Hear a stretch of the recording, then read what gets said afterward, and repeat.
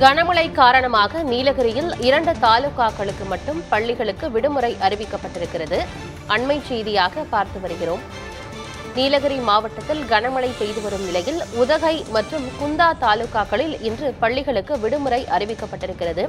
உதகை மற்றும் குந்தா தாலுகாக்களில் கனமழை அதிகரித்ததன் காரணமாக முன்னெச்சரிக்கை நடவடிக்கையாக மாணவர்களின் நலன் கருதி இந்த இரண்டு தாலுகாக்களில் உள்ள பள்ளிகளுக்கு மட்டும் விடுமுறையை அளித்து மாவட்ட ஆட்சியர் உத்தரவை பிறப்பித்திருக்கிறார்.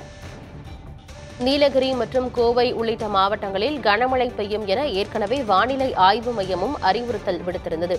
அதன்படி நீலகிரி மாவட்டத்தில் கனமழை தொடர்ந்து வருகிறது. குறிப்பாக உதகை குந்தாவில் கனமழை தொடர்வதால் அங்கு பள்ளிகளுக்கு விடுமுறை அறிவிக்கப்பட்டிருக்கிறது.